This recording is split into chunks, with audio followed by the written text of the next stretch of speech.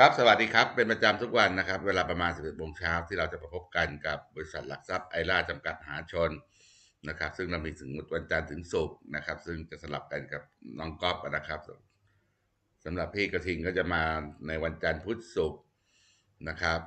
ในรายการ Technical Trading by i r a นะครับ แล้วก็มาต่อมาวิเคราะห์ภาพรวม Sentiment ปัจจัยที่ต้องติดตามนะครับ แล้วก็ตอบคำถามนัการลงทุนทุกท่าน ซึ่งสามารถส่งเข้ามาได้เลยนะครับ ที่ Facebook ของบริษัทหลักทรัพย์ไอร่าจำกัดมหาชนได้โดยตรงนะครับ โอเค เรามาวิเคราะห์ภาพรวม พี่กระทิงอ้วนมองลงมาตลอด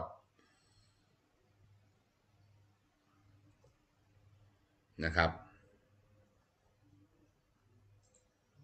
คือเราต้องปรับนิดหนึ่งนะครับว่า โอเค น่าจะเส้นนี้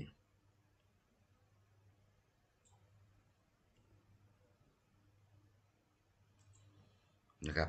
เรายังอยู่ในอัพเทนไลน์อยู่นะครับ สิ่งที่เกิดขึ้นคือเป็นการปรับฐาน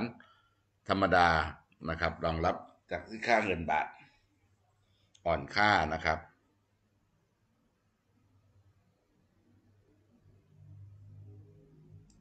แป๊บหนึ่งนะครับ โอเค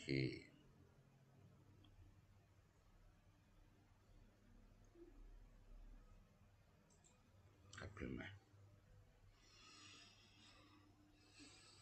โอเคนะครับ เราสิ่งที่เกิดขึ้นนะครับ ตอนนี้ทุกคนก็วิตกจริตกันใหญ่เลยนะครับ ว่าเราจะเป็นขาลงอะไรขนาดนั้นนะครับ ก็ไม่ไม่ไม่ไม่ใช่เป็นการแค่ปรับฐานในกรอบสามเหลี่ยมแนวโน้มไซเวย์ภาพกว้างนะครับ ผลประกอบการที่เกิดขึ้นในที่ออกมาแล้วก็ผิดหวังกันเป็นแถบๆเนี่ยก็เป็นเป็นผลประกอบการของไตรมาสสี่ปีที่แล้วนะครับ ซึ่งเราอยู่อยู่ในครึ่งหนึ่งมันปิด ยังไม่ยังไม่เปิดเมืองเลยนะครับ ถ้าจำไม่ผิดเราเปิดเมืองเดือนไหนอะนะครับ มันก็ยังยังยังไม่ได้เต็มที่นะครับ แล้วก็เศรษฐกิจมันก็เลยไม่มันก็ยัง จะไปหวังอะไรนะครับ ปีที่แล้วโควิดก็อยู่กันเกือบเกือบทั้งปี ปีนี้โอเค สิ่งที่เกิดขึ้น เดี๋ยวมันก็จะตีกลับขึ้นไป เมื่อเศรษฐกิจออกมาดีกว่าที่คาดหรืออะไรประมาณนี้นะครับ เรากำลังเล่นในอนาคต ก็ตรงนี้รับรับสิ่งพวกนั้นไปละ อันนี้ก็เกิดขึ้นจากเรื่องเรื่องของค่างเงินบาทอันนี้ประเด็นค่างเงินบาทเนี่ยกลับกลายเป็นปัจจัยบวกนะครับ เย่รอมานานแล้ว ไปโดจิกสองแท่งนะครับ เวลาเป็นโดจิกเราไม่ดูสีนะครับ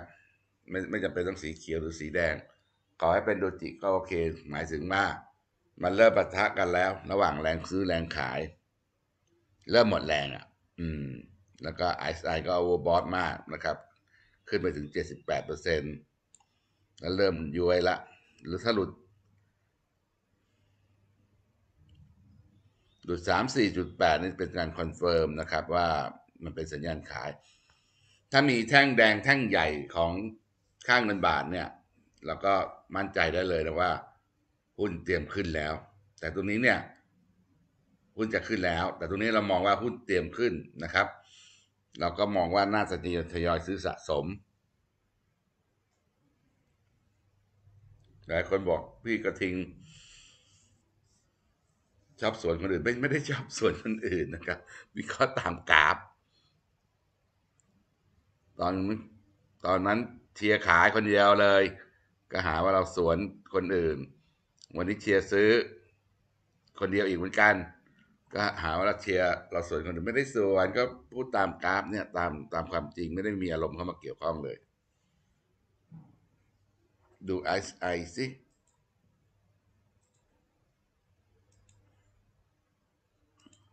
ก็อยู่ในโซนนี้แล้ว โซนแนวรับ อืม ประเด็นก็คือ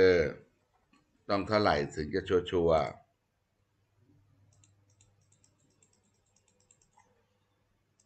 ก็ต้องปิดแท่งแดงแท่งนี้ได้นะครับ ก็ประมาณ1640นะครับ ถ้าปิดได้ก็โอเค จบบัญชีสำหรับขาลงเรายังอยู่อยู่หนึ่งหกสองแปดอยู่เลยเนาะ อีกนิดนึงค่อยๆ ทุกอย่างมันก็ต้อง รอนะครับ เพราะว่ามันยังหลอนกว่าจะเปลี่ยนแนวโน้มได้เนี่ย มันคงต้องใช้เวลาอยู่พอสมควร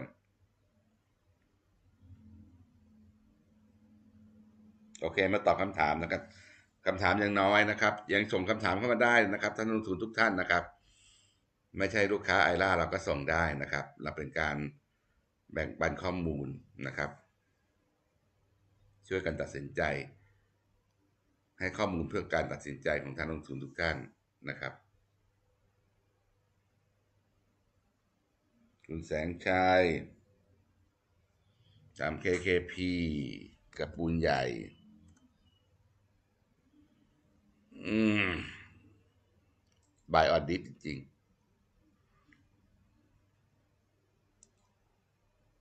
แบงก์ก็เริ่มฟื้นแล้วนี่ยังไม่ฟื้นเลยนะครับ ก็ทยอยซื้อได้นะครับ น่าจะเหมาะกับคุณแสงชัยสายย่อนะครับไอซ์ไอเริ่มทำบุหรี่ไตรโอเวอร์เจนแล้ว ลงมาถึงแนวรับใหญ่นะครับเขามีปันผลไหมเนี่ย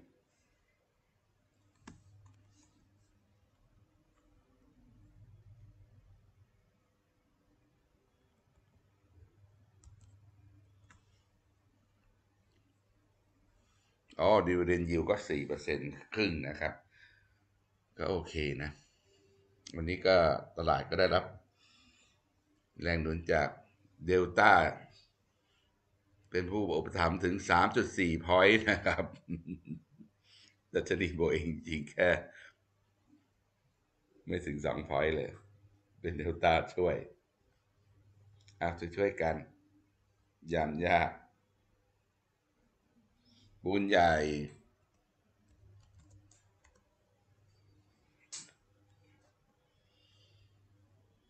หลุดแล้วเหมือนกับคนที่เล่นทีมทีมจีนเปิดประเทศนี่หลุดกันเป็นแถวเลยนะครับ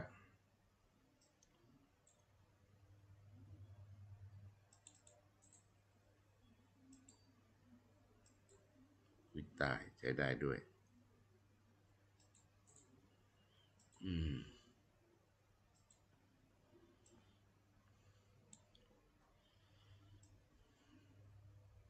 คงกลับไปที่เดิมนะครับ สามร้อยเจ็ดซึมลงอีกแล้ว คุณน้อยสวัสดีค่ะ สวัสดีครับ คุณสาครสวัสดีค่ะ สวัสดีครับ คุณลามเหรอ ใช่เหรออ่านมันลามปะไม่รู้ MTC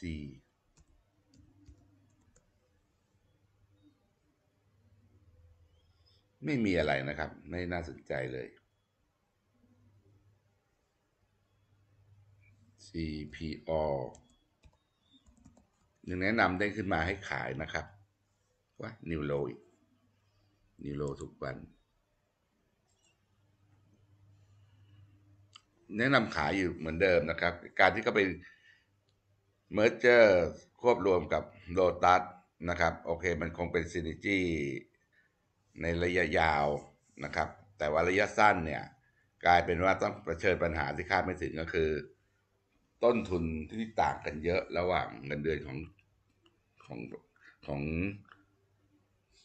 เจ้าหน้าที่โ o ตัสกับเจ้าหน้าที่เซเว่นนะครับ มันก็เลยทำให้ในงบการเงินที่ที่ที่แต่มาสสี่ที่ออกมาเนี่ย ค่าจ่ายพนักงานเลยกระโดดขึ้นไปสามสิบเปอร์เซ็นเลยนะครับ ก็เป็นสิ่งที่ตลาดไม่คาดด้วยนะครับ แล้วก็คงไม่รู้ว่า การควบรวมเห็นผลดีได้เมื่อไหร่นะครับ คงใช้เวลาอีกเป็นปีนะครับ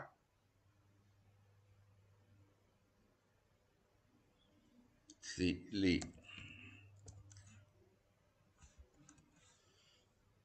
ก็ถือว่าเก่งนะ ตลาดหุ้นลงมาตั้งเยอะ มันไม่ลงเลย แต่ถามว่าน่าซื้อน่าซื้อไหม ไม่น่าซื้อครับ ปล่อยให้พวกเมาเขา พวกเบืออาชีพ ดูดูแล้วมันมันจุดชมวิวยังไงไม่รู้ สูงสูง ยืมคำคำมาใช้นะครับ ชอบนะครับ จุดชมวิว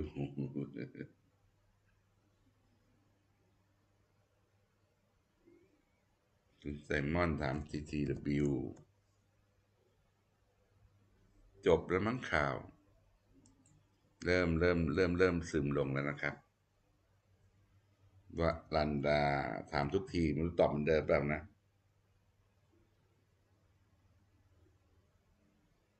R A N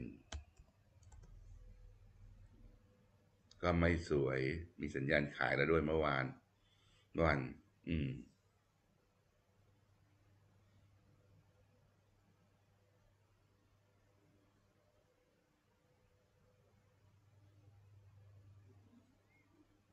คำถามน้อยนะครับ วันนี้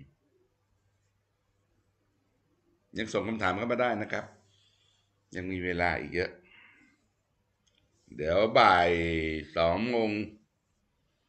สี่สิบเดี๋ยววันนี้ผมจะออกเนชั่นนะครับ เป็นคิวโดปกติผมจะออกทุกวันศุกร์วันนี้ก็เขาขอให้ออก แทนแทนคนอื่น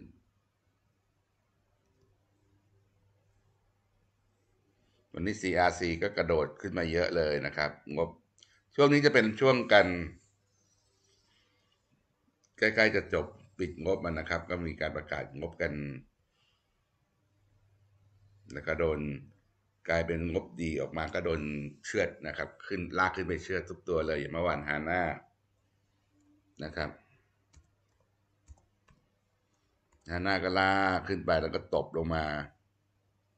วันนี้ CRC ก็ลักษณะเดียวกันเลยนะครับลากขึ้นไปสี่เจ็ดห้าสิบแล้วก็ตบลงมา คือตอนนี้คือลากขึ้นไปเนี่ย ทุกคนกำไรขายก่อนอะนะครับ เพราะว่าหลอนนะครับ กับกับภาวะตลาดที่ลงมาตลอดเลย บ้านปูก็ไปไม่เป็น บ้านปูเมื่อวานวอลุ่มมันมันผิดปกติเนื่องจาก ตัว MSCI เอ้ยเออใช่ MSCI มั้งนะครับ ปรับน้ำหนักกัน แต่ดูทรงแล้วเนี่ยเซ็ตเซ็ตห้าสิบเฮสองสามนะ จะขึ้นแล้วนะครับ ติดใครมีอยู่ก็ลองได้นะครับ เปลี่ยนจากขาช็อตมาเป็นขาลองนะครับ ขาลองจงเจริญ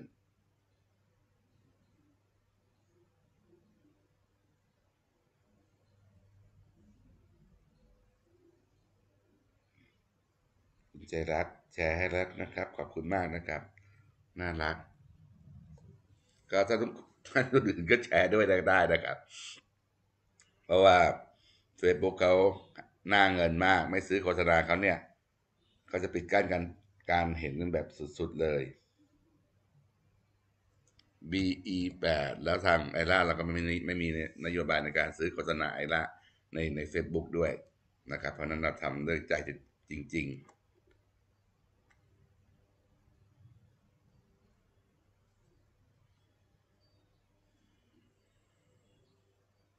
เออเตรียมรีบาวนะครับ BE 8น่าซื้อครับน่าซื้อมาซื้อเล่นสั้น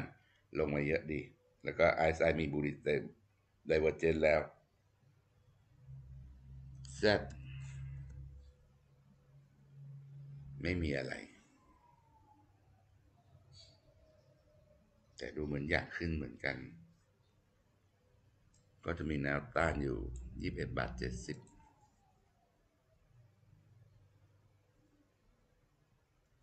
OR อืม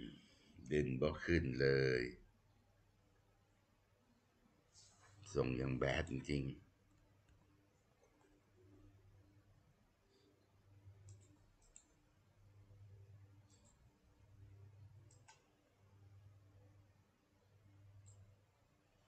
ไม่ผ่าน ก็ยังเป็นขาลงอยู่นะครับทำใจ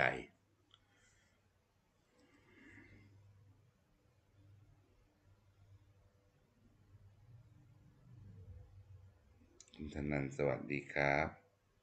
ครับ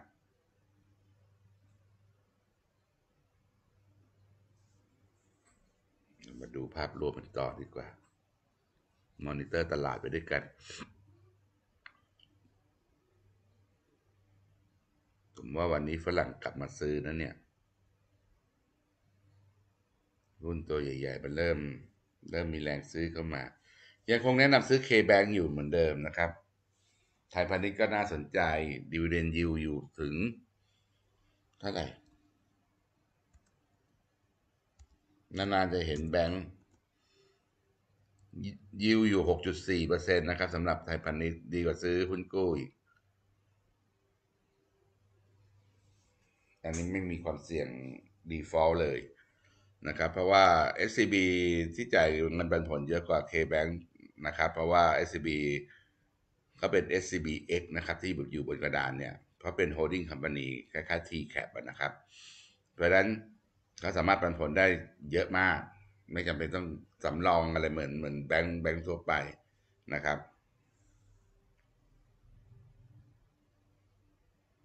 ตลาดดีขึ้นเรื่อย ๆ นะครับ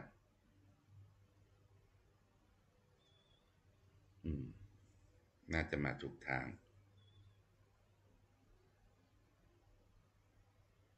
เคแบงก์ก็แนวรับสามร้อยสามหกร้อยสามหกห้าสิบ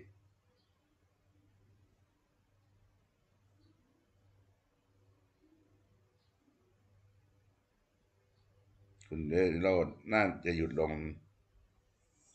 หรือยัง น่าจะหยุดแล้วนะครับ เตรียมจะตีกลับแล้วนะครับเพราะเรามองค่างเงินบาท กลับมาเป็นผลบวกสำหรับตลาดหุ้นแล้ว เนี่ย เริ่ม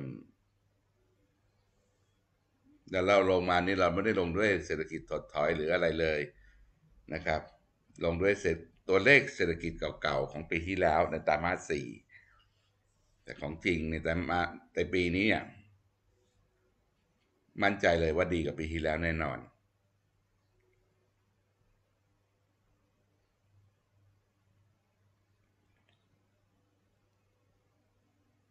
SCB ก็ได้นะครับ ซื้อหลักเป็นผล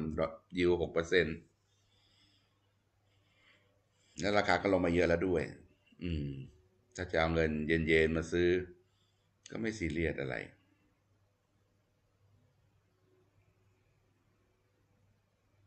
ส่วนคุณนิโรถาม BE8 กับ OR ตอบให้ไปแล้วนะครับ BE8 น่าซื้อนะครับ OR ยังทำใจเป็นขาลงอยู่ ลงไม่เลิก โอเค ไม่มีคำถามแล้วนะครับ งั้น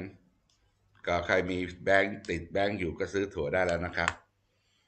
แล้วก็เดี๋ยวไงเดี๋ยววันพุธมาเจอกัน เอ้ยวันศุกร์สิ วันศุกร์เจอกันทีหนึ่ง วันนี้แค่นี้ก่อนนะครับครับ สวัสดีครับ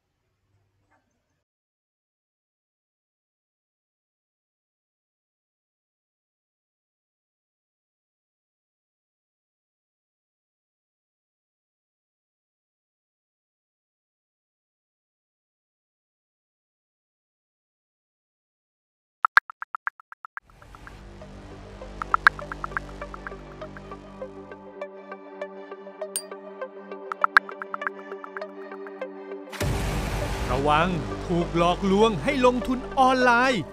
เสนออัตราผลตอบแทนลงทุนที่จูงใจสูงเกินจริง ที่มาของผลตอบแทนไม่ชัดเจน ให้ผลตอบแทนจากการชักชวนคนอื่นมาลงทุน รับประกันผลตอบแทนอ้างว่าไม่เสี่ยง แอบอ้างชื่อ ภาพ โลโก้หน่วยงาน หรือบุคคลที่มีชื่อเสียงและน่าเชื่อถือ เพื่อโฆษณาชวนเชื่อ ชักชวนให้ลงทุนโดยไม่มีแหล่งข้อมูลอ้างอิงให้ตรวจสอบ ให้ฝากหรือโอนเงินลงทุนเข้าบัญชีส่วนตัวของบุคคลธรรมดา และไม่มีรายงานหรือแจ้งยืนยันการลงทุน ช่วงนี้มิจฉาชีพมาทุกรูปแบบ ผมยังโดนเลย ถ้ามีการลงทุนที่ผลตอบแทนดีเกิน ให้สงสัยไว้ก่อนว่าจะถูกหลอก